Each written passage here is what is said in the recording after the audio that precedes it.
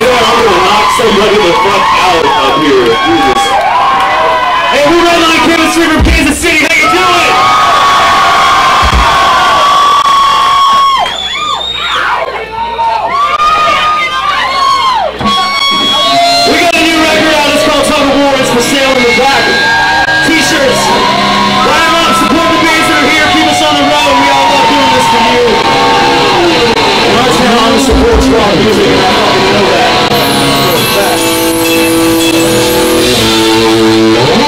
single coming up as soon as we get to Why you gotta give me blue balls on that shit?